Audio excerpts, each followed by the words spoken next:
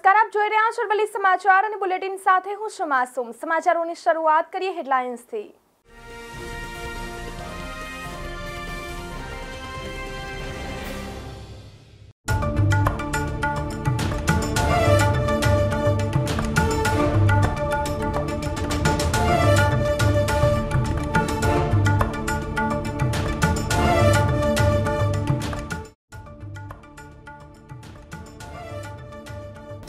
લઘુત્તમ તાપમાનમાં ઘટાડો થશે. આગામી સાત દિવસ બાદ રાજ્યના કેટલાક જિલ્લામાં શિયાળાની અસર વર્તાશે.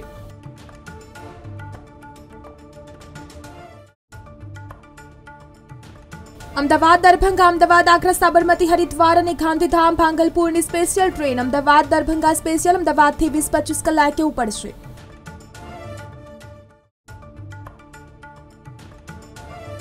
એફઆઈએસવાય સમય શરૂ થઈ શકે દિવાળી વેકેશનમાં જ અધ્યાપકો ઉત્તર વહી ચકાસી લેશે.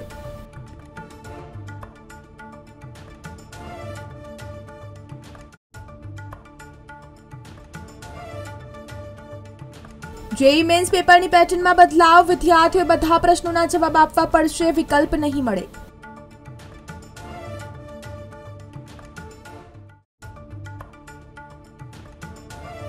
પ્રકાશના પર્વની હર્ષોલ્લાસ સાથે ઉજવણી ભાવનગર શહેરમાં લોકોએ ભવ્ય આતશબાજી સાથે મોડી રાત સુધી ફટાકડા ફોડ્યા.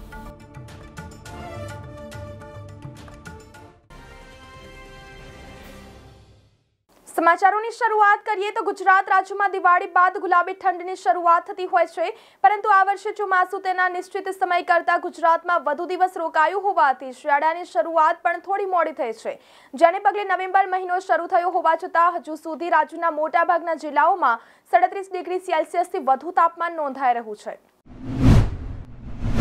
દિવાળી તહેવાર પર મુસાફરીની સુવિધાને ધ્યાનમાં રાખી રેલવે વિભાગ દ્વારા સ્પેશિયલ ટ્રેન દોડાવવામાં આવી રહી છે, જેમાં અમદાવાદ સેન્ટરથી ચાર સ્પેશિયલ ટ્રેન દોડશે, અમદાવાદ દરભંગા સ્પેશિયલ અમદાવાદથી વીસ પચીસ કલાકે ઉપડશે. બીકોમ એમકોમના પંદર હજાર વિદ્યાર્થીઓના મિડસેમના પરિણામો અઢારથી બાવીસ નવેમ્બર વચ્ચે પરિણામ જાહેર કરી દેવામાં આવશે. દિવાળી વેકેશન દરમિયાન જ અધ્યાપકો ઉત્તરવહી ચકાસણી પૂરી કરી દેશે. એમએસ યુનિવર્સિટીની કોમર્સ ફેકલ્ટીના પરીક્ષાઓ ઓક્ટોબર મહિનામાં લેવામાં આવી હતી. જેઈ મેન્સની પરીક્ષા આપનારા વિદ્યાર્થીઓને આ વર્ષે સફળતા પ્રાપ્ત કરવા માટે સંપૂર્ણ અભ્યાસક્રમ વાંચવો પડશે, કારણ કે આ વર્ષે જેઈ મેન્સના પેટર્નની તેમજ પેપરની પેટર્નમાં બદલાવ કરવામાં આવ્યો છે. જેઈ મેન્સ બે હજાર પચીસના પેપરમાં વિદ્યાર્થીઓને પ્રશ્નોમાં કોઈ વિકલ્પ નહીં મળે.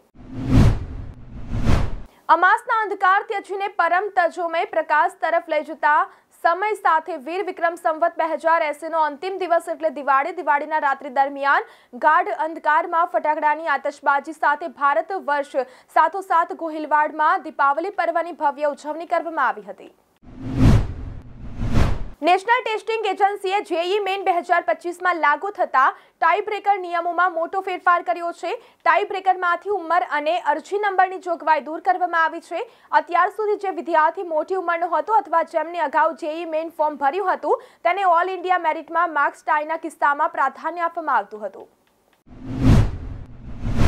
ઓક્ટોબર માસ અલંગ માટે આશાનું કિરણ લઈને આવ્યો હતો. આખા માસ દરમિયાન અલંગમાં પંદર જહાજ ભંગાણરથી આવ્યા છે અને તે પૈકી તેમજ બારનું પિચિંગ સંપન્ન થઈ ચૂક્યું છે. બીજી તરફ અમેરિકન ડોલરની સામે ભારતીય ચલણ રૂપિયાનું અવમૂલ્યન ચિંતાનો વિષય બની રહ્યું છે. બીજી તરફ નજર કરીએ તો દીપાવલી પર્વમાં માર્કેટ યાર્ડમાં રજા રાખવામાં આવતી હોવાથી રાજ્યના કૃષિ વિભાગ દ્વારા મગફળી, અડદ, મગ અને સોયાબીનના ટેકાના ભાવે વેચાણ કરવા માંગતા ખેડૂતોના રજીસ્ટ્રેશનની કામગીરી માટે તારીખને લંબાવવામાં આવી છે. મહેસાણા જિલ્લામાં ચાલુ શિયાળુ સિઝનમાં એક પોઈન્ટ ઇગ્યાસી લાખ હેક્ટરથી વધુ જમીનમાં શિયાળુ પાકોનું વાવેતર થવાનું અંદાજ કૃષિ વિભાગે મૂક્યો છે. ચોમાસામાં ભારે વરસાદના મારથી પીડાતા ખેડૂતોને કૃષિ વિભાગે બિયારણની ખરીદીમાં રાહત આપવા ઘઉંના બિયારણમાં બોરીએ રૂપિયા આઠસો અને ચણાના બિયારણમાં બોરીએ બારસો પચાસની સબસિડી જાહેર કરાઈ છે.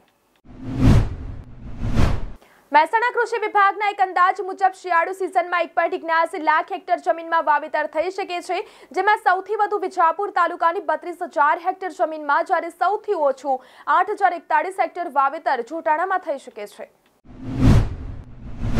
શિયાળુ સિઝનમાં ખેડૂતોને કરવા પડતા બિયારણના ખર્ચમાં રાહત મળે તે માટે રાજ્ય કક્ષાએ મંજૂરી લઈ ઘઉં અને ચણાના બિયારણમાં સબસિડી આપવાનો નિર્ણય લેવાયો છે, જેમાં ઘઉંના બિયારણના પ્રતિ કિલોએ રૂપિયા વીસની તેમજ ચણાના બિયારણમાં પ્રતિ કિલોએ રૂપિયા પચાસની સબસિડી કાપીને જ બિયારણ આપવામાં આવશે.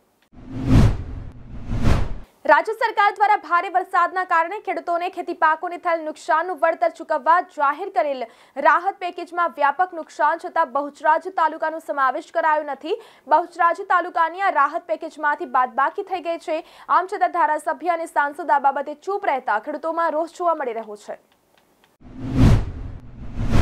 તો આ સાત બુલેટિનમાં અત્યારે બસ આટલું જ. નમસ્કાર.